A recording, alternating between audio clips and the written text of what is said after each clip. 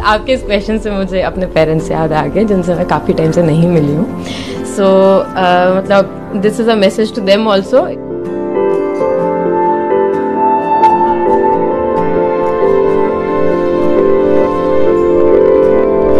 ऐसे समय में जिसमें आप काम कर रहे हैं जहाँ इतना क्राइसिस है तो कैसे अपनी बातें अपने अपने दिल की बातें अपने परिवार तक पहुँचाती हैं? एक्चुअली ये बहुत मुश्किल होता है। कहना बहुत आसान होता है कि हाँ दूर रह के काम कर लेते हैं और मैनेज कर लेंगे but it's not possible that ways जब आप अपने घर वालों से बात करते हैं तो आपको भी डर होता है क्योंकि दोनों तरफ़ से कभी भी कुछ भी हो सकता है। आपकी तरफ़ से भी हो सकता है उनकी तरफ़ से भी हो सकता है। हो सकता है वो बीमार पड़ जाए और आप उनकी केयर ना पकड़ पाए।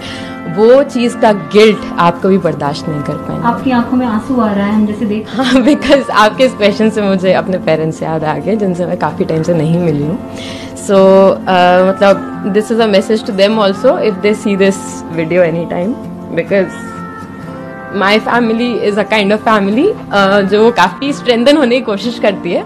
मतलब अभी भी जैसे uh, वो मेरे को कॉल करते हैं तो नेवर से कि हाँ वापस आ जाओ कि छोड़ दो अरे क्या रखा है इन सब चीज़ों में जान सबसे पहले है ऐसा कभी मैंने आज तक अपनी ज़िंदगी में नहीं सुना। चाहे कुछ हो जाए।